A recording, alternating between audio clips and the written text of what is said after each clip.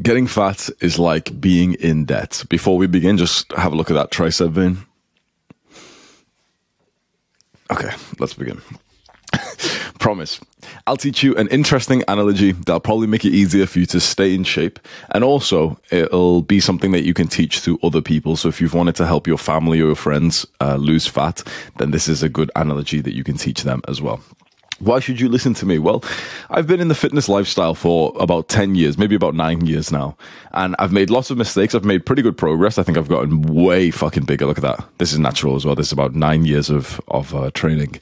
Um, made lots of mistakes. I didn't have good genetics or fast results. I, I literally made like nine years of progress in probably about, uh, I don't know, you could have probably done this in about five years if you didn't fuck up like I did. So I'd like to teach you some of the mistakes, and uh, this analogy that we're covering today will help you.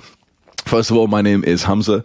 My current mission is to educate 10 million men. We'd, we've done about 3 million like total follower count. So when that hits 10 million, then I'll deem this as ch- checked. I'm basically learning out loud as I go along my own journey. You can use what's helpful and let go of the rest. So then subscribe if you want to get these educational guides on your homepage instead of the clickbait entertainment videos, which don't actually help you, but you just watch them to like pretend to be productive. And uh, if I've already changed your life, then just go leave a comment below with your story of, you know, you got onto self improvement, you watched some of my videos, what happened, what's your life like now, because you'll be inspiring other guys as well.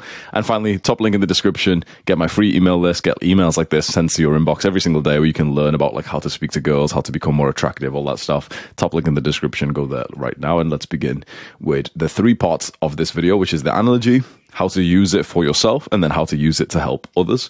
We're going to begin with step number one the analogy, which is shout out to John, the coach I just spoke to yesterday inside of the gym. He told me this.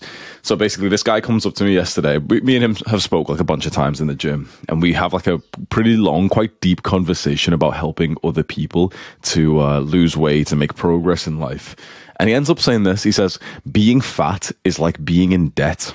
and we start like you know snowballing with that we start like talking about oh shit that's such like a good analogy because when you become fat or when you get into debt basically you've went over your budget because of excess excess calories or excess spending you've went over the thing that you should have that means that you took what you were supposed to have today for your current self and then you stole from your future self Fat people are thieves.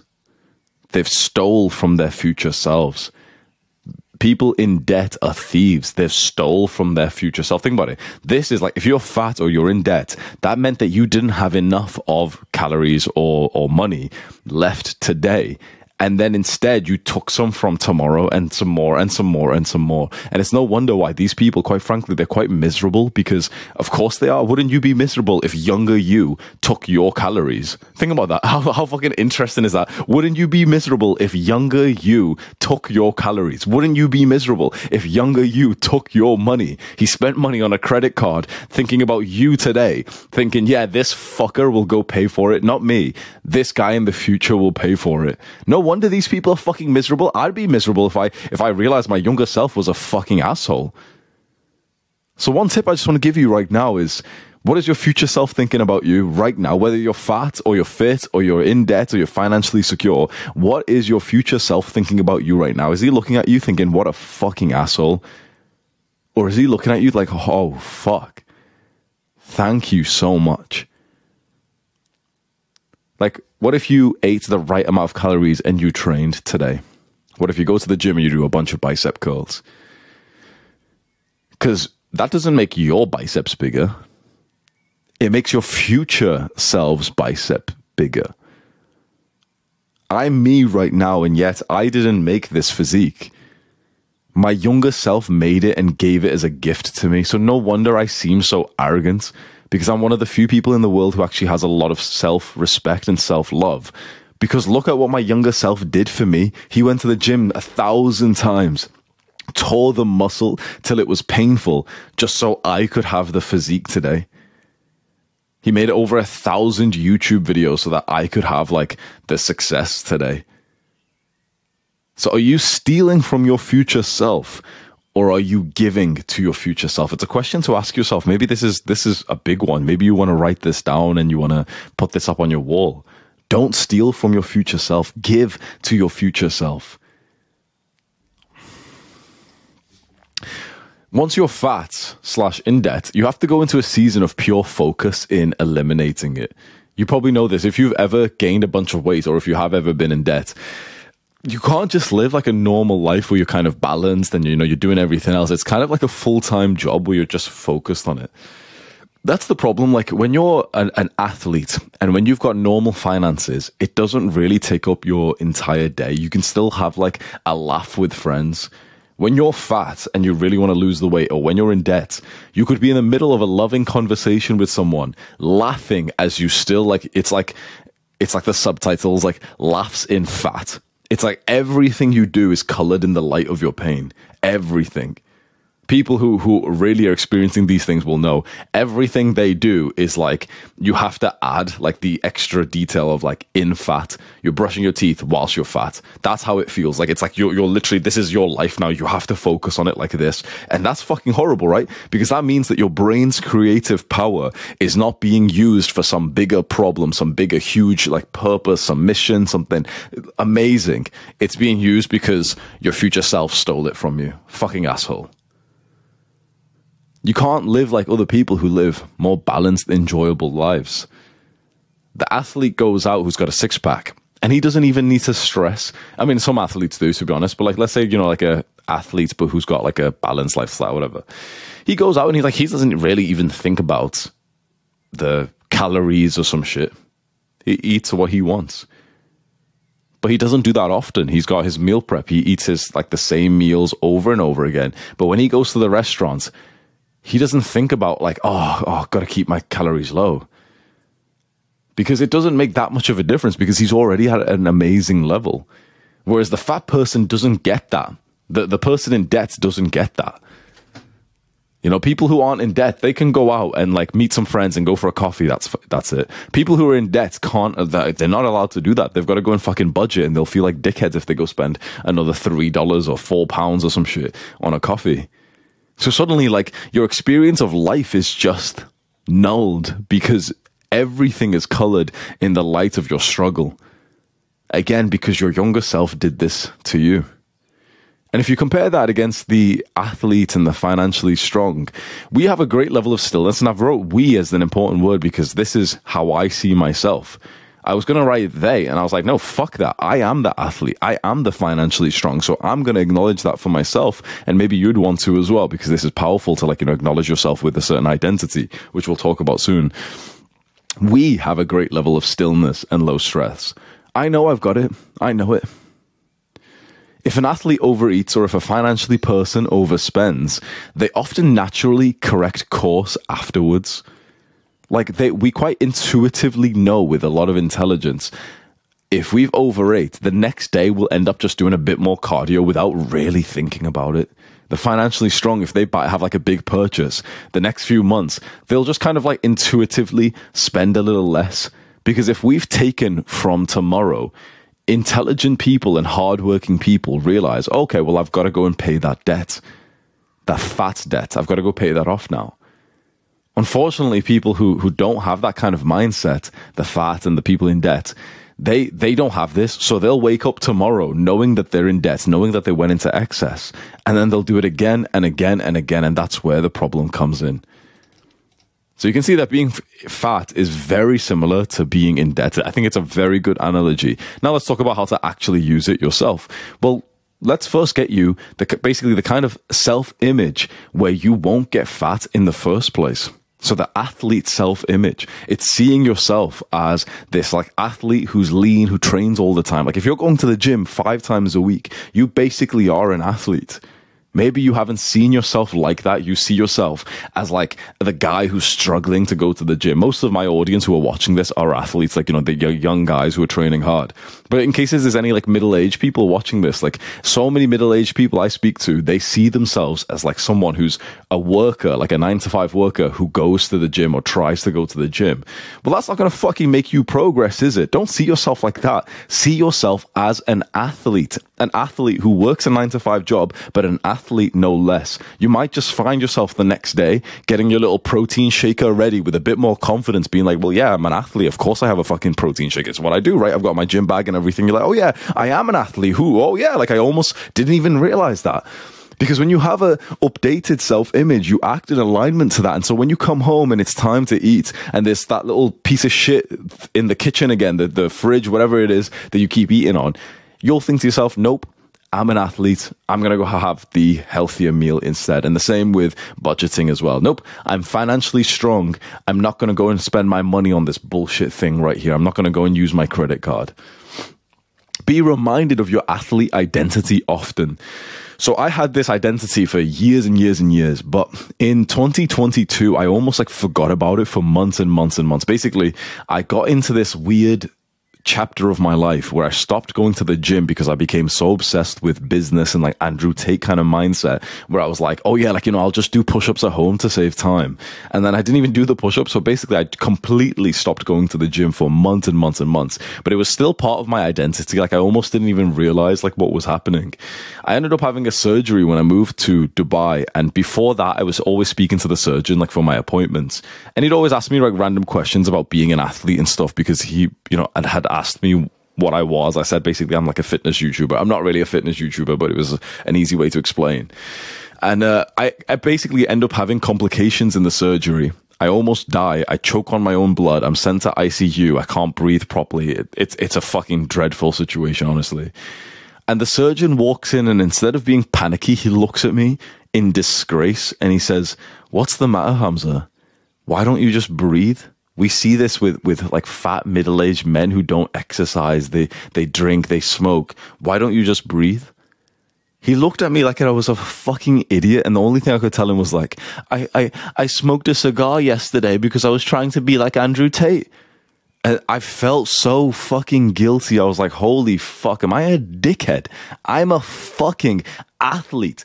Athletes don't smoke cigars. I don't give a fuck what some influencer does on the internet. Athletes stay healthy. They don't drink. They don't smoke. They sleep well. If they've got a surgery, they're in prime fucking health for it. This was the identity that I, like a reminder that I needed. And from that point onwards, I took my, my training way more seriously, especially in the last few months as well. I've been taking it very seriously. Now I see myself as a bodybuilder but like I had lost that up until I needed that reminder from someone who looked at me in disgrace and was like, You're an athlete. Why are you like this? And I was like, Oh yeah, I'm an athlete. Like I forgot about it.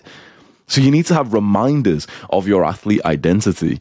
Maybe you've got a wardrobe of the clothes that you wear. What's interesting is uh, around this time, I stopped wearing the same like athlete clothes and I started wearing more of, you know, the sort of designer, uh, fashionable shit, you know, because I was making money and I was being more materialistic when I moved to Dubai.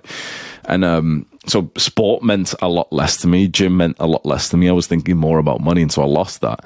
Maybe your athlete identity, you have like shaker cups, you have pills, you've got supplements, you've got energy drinks, you've got the uh, protein shakes, the gym bag, you've got the gym clothes, you, all that kind of stuff. You've got a gym playlist. Have it, have it all around you on your apps, on your phone. You've got My Fitness Pal, you've got like a work tracking app, you've got playlists on Spotify, which are all for different kinds of gym, um, cardio and heavy lifting and PRs. You've got gym friends. Have this like a big part of your life. And the same if, if anyone here is, is uh, fairly fit, but not financially strong. Have the same thing with strong finances. Have friends who have got good finances, not just who make a lot of money, but friends who don't spend money on bullshit so that, you know, they always live below their means and stuff. Friends who are making more money, friends who are investing in their education to learn to make more money, friends who are learning skills, f- friends who are going out and like selling door to door or some shit just for fun to develop themselves. You start doing that shit. You start having your goals on your wall all over 10k a month, 10% body fat suddenly you're reminded of it all the time of like, yeah, shit, this is the person I am. And fat negativity is what we need, not not fat positivity. We need fat negativity. This is what the the coach I spoke to yesterday. He was like, the the problem with fat is that with um, debt, everyone knows it's a bad thing. Like it, like obviously there's some kinds of debt which is a good thing, but that's more like billionaire level, so we won't talk about that. But with debts, if if you're in debt, your family, your friends, everyone will look at you and say that's a bad thing. If you're in debt to calories, basically, if you're fat, people these days are now saying, "Oh, that's you're you're you're beautiful." Like, like they've got their eyes closed. Like, yeah, yeah, yeah, yeah, you, yeah, you're beautiful. Uh, yeah. Don't fucking believe him. Especially if you're a guy, by the way. As a girl, you can get away with it because a lot of people will just, you know, men will lower their standards, whatever. As a guy, we don't have body positivity or any bullshit. You just are either in shape or you've got to be rich. That's it. Best case scenario, you've got both. So don't be, don't think that this like new age fat positivity movement is for men. It's only for women because men would still sleep with fat women. And even then, it's like, it's not good. Even then, those men are making fun of them and everything. Those, the women who talk about fat positivity are making fun of the fat girls and stuff. So don't don't believe this bourgeois. It's just like this like um, modern you know, like public thing that this weird fake game we're all playing. You can see all the fakers. Like this is what we're doing. Any Instagram dickhead that you see, some um, fitness influencer who does the whole like, "Hey guys, this is actually what I look like," like you know this shit. It's like they're not doing it because they agree with the message. They're doing it because this is what's trendy right now. So we need more fat negativity. We need to look to our fellow man and say, "Hey, you're fat. Why are you so fat?" Imagine that. If you're fat right now, like what if I just looked at you in the in the eyes and said, "Why are you fat?" Imagine how much extra pressure and like like like I'm not being extremely disrespectful. I'm not insulting you. I'm not swearing at you. But imagine if I curiously just ask you like, "Why are you fat?" Imagine putting a fat guy on the spot like that, and he's like, "Oh oh," and now he has to think for himself. Now he's like, "Oh shit!" Like I have fucked up. Imagine saying to a guy in debt, "Why are you in debt?" And he's like, "Oh, oh, like here's the list of mistakes that I made. That's how you actually help, especially men, is through criticism, but from a place of love, where it's like you're you're asking someone like, why are you fat?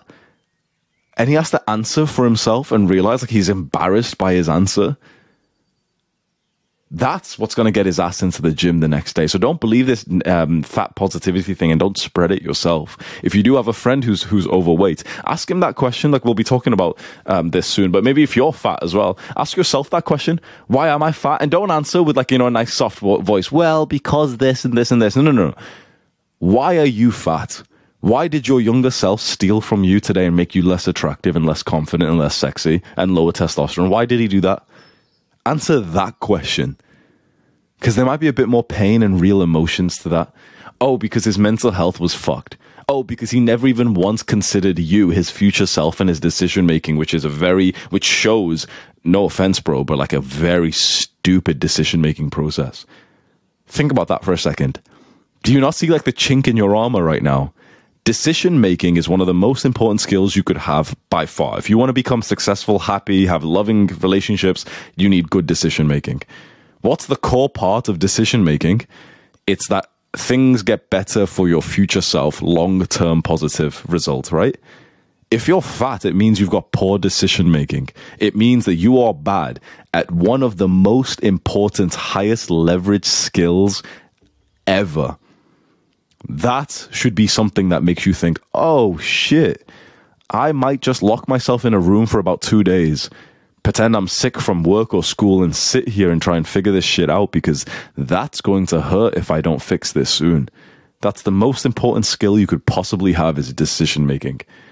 And you keep making decisions that are short term. Hmm. You might just want to focus on that. Maybe I, will do a guide on um, decision making because it is a very important thing. That's how you use it for yourself basically just keep the analogy in mind and stop stealing from your future self. When you wake up, like one more thing I'll add on to this is when you wake up, your day should be structured for your future self. Especially if you're very young, right? If you're like 60 years old, fair enough, you don't really have to think about this. I probably still would anyway. But especially if you're like fucking 20 years old, bro, younger or a little bit older, whatever you should be doing most of your day for your future self. It's just that the things that you do should be kind of enjoyable for yourself too. So, for example, I go to the gym for my future self, but I've set up the gym in a way that I enjoy it today. So it's like a win win. Your day should not be about you indulging in the current self and making your future life worse. because that's how you end up having depression and self hatred. That's how you end up having like low self esteem. Because of course, like, uh, bro, I'd have low self esteem if I was fat. I'd I'd be pissed if I like if I looked at my younger self and I was like, he's a fucking dick. Of course, like there's people like me who have such high levels of self-love because of delayed gratification that the peasants like the, like around the world think it's like arrogance and ego. It's not. This is just what a healthy level of love looks like because my younger self worked for me. He did this for me. So of course I love myself. Of course I, I think I'm a fucking amazing person because I did this for me, my younger self even though those workouts were so painful, even though I, I woke up and worked for 12 hours every single day for years, he did that for me. So, of course, I have that. So, like, that's what you need to use this for yourself. Wake up and do it for your future self, not for you. Don't spend hours of your day just indulging for your current self and thinking, whatever, I don't care about my future. Like, that's so fucking weird and cringe. Think and do things for your future self. Set things up for him and you just might find certain things that you're doing are actually really enjoyable for you right now. That's the sweet spot. The sweet spot is when you're thinking about making things better for your future self, so you're delaying gratification, but the actual task that you're doing is actually kind of fun for you right now. Like going to the gym is for me, working on YouTube is for me. So I'm having fun. Like this is like, this is, it's, it's tough. I won't lie to you. What I'm doing right now, recording this video, it is tough, but it's also in some ways fulfilling and enjoyable for me. And it makes things better for my future self. No, I have perfectly, I haven't just gotten lucky and found the things that I enjoy, but that are also delayed gratification. I literally experimented and I cultivated these things. So it's bodybuilding and business for me that are both things that make my future life better, but also are enjoyable right here, right now. But it might not be the same thing for you. Yours might be a completely different kind of career. Yours might be a completely different kind of training that's enjoyable now, but also makes your life better in the long run. And it's your duty to go and experiment and go and try like 15 different sports in the next few months. You won't do that. Most people who, like, I've literally just said that 99.999% of the views of this video, if you go and have a look, they won't listen to that because that's a, piece of advice that requires you to stand up and go outside. And most people just won't do, take that action. That's your competition. Look at the view count of this video. 99.99% of the people of this video will, will never even go and try 10 different training styles in their life. They won't go and like sign up to a new club just to go see if it's more enjoyable than the current one. That's your competition in life. It's people who like won't they'll they'll list, they'll be listening to this mouth breathing, and then they won't even actually take action to it. This is how I was able to cultivate a very amazing life for myself. I went and experimented with so many different business models, so many different sports and, and you know, like um, ways of training to now I've found the ones that what firstly, most importantly, make my life better in the long run. So it's productive and it feels like, okay, my life's getting better. I'm climbing towards a big goal, but also that is very enjoyable right now. So I've got literally the, the perfect life. So of course I feel so fucking happy. Of course I seem arrogant to the average person. Of course I seem like I'm, I'm egotistical to the average person because my life is so different to theirs. It's not because I'm genuinely so egotistical or anything like that. I'm still a student. I'm still here learning like more than the, the people who say that I'm arrogant. But it's that I've cultivated this life where I'm doing the, the hard work today, but I've made it enjoyable because I've perfectly crafted it, found the things that are enjoyable for me that get me into a flow state, found the variables that increase the likelihood of getting into a flow state. So I hope you can copy that and use it for yourself because yours might not be bodybuilding and business. Those are mine. and then how to help others with it let's say you've got a family member like your mother or a friend you're trying to help who's kind of fat right now. Give them a fine reputation to live up to. Subtly mention to people something like, oh, you're an athlete, and so, you know, you're speaking to someone, say that. Oh, yeah, you're a really hard worker, and so, just subtly mention that you're you don't realize by the way you speak like this to people like this calculated supportive way you will literally be changing the lives of everyone you speak to. It's such a powerful thing. If you go see some hard worker in the gym, you go see someone who's in the gym all the time, or, you know, some girl who's just a beginner, and you just casually mention this to her, you will literally change her future forever. And she might not, like, you might not even, like, realize it. If you see someone who's working hard, give them a fine reputation to live up to. Act like they already are an athlete. So your your mother, if she's been like going to the gym, she aimed to go to the gym five days a week, but she's actually been going like once a week. Pretend that she's an athlete anyway. Just do it. Just pretend that your mother is already an athlete. Pretend that your spouse or whoever you're trying to help is already a full on athlete. Almost delude yourself into thinking that they are like that because then you'll treat them like that and then they'll be more likely to be like that. Along with that, praise their hard efforts, not results or intelligence or anything genetic. Basically, when, when we praise effort, the person is way more likely to continue to do the task. When we praise intelligence, genetics, or just the results itself, which is so interesting, the person is less likely. So there's been studies done on children to basically find out, okay, what kind of praise, what kind of compliment actually helps. They complimented how hard the child had worked on a task, like how much effort they put in. And then they also complimented the child's sort of genetic traits, like, oh, you're so intelligent. So it was like, you work so hard on this little Timmy, or you're so smart, little Timmy. Do you see how working hard was an effort thing and you're so smart is almost like this? Oh yeah, that's just who you are. You would think that, that both of them was, were, were a positive. The kids who were told that they were smart actually had a very negative spiraling, spiraling feedback loop, which if you, when you were young, if you were called gifted or smart, you probably relate to this. You're like, oh yeah, like it, it actually fucked me up in a really weird way because it made you think that you didn't need to put in effort. You should always be praised and you should also always always praise others on their effort, their hard work, their dedication, like these character traits, the grit, the perseverance, the resilience.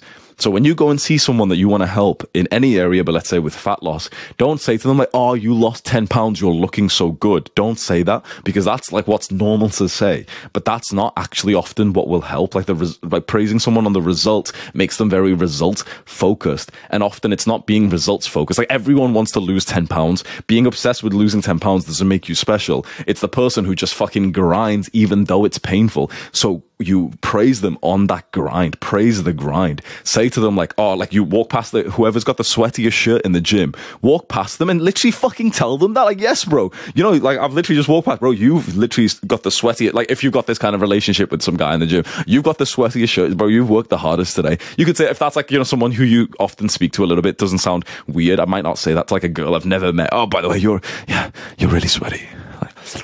I wouldn't say that to a stranger, but like if you've got that kind of dynamic, right? Or you see someone who's training to failure, you see someone who's who's really working hard.